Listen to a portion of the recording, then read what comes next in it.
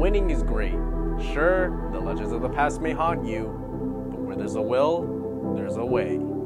If there's a chance in a million you can do something, anything, to keep you world from ending, do it. The secret is learning how to lose. Nobody goes undefeated all the time. If you can pick up after a crushing defeat and go on to win again, you're going to become a champion someday. Legends never die. of you.